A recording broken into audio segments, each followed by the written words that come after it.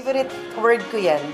Ever since na ano talagang ah, paramdam ko yung sumalba sa akin simulat sa pul- yung tiwala ko sa Diyos.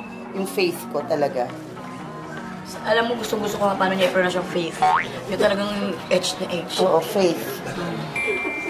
Faith. Ano galit? Sabi mo. Faith. Oo. Ganun?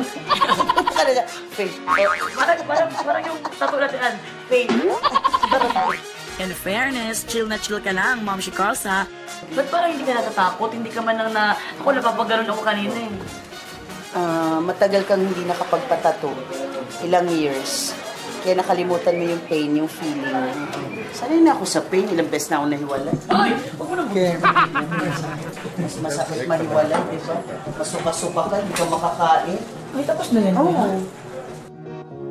Pero teka, ang bilis ng proseso kay Ma'am Shikals ha, nililinis na nga ang excess ink, oh.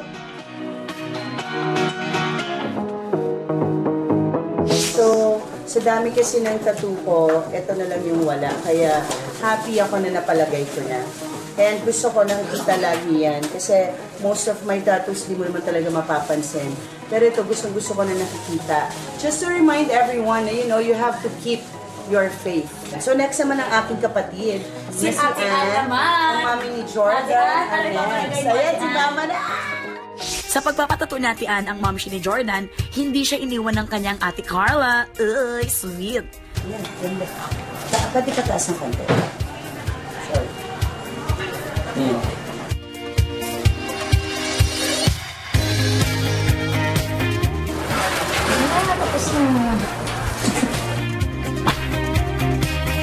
Para sa third anniversary ng magandang buhay, napagwagian namin ni Ma'am Shikals ang isang challenge.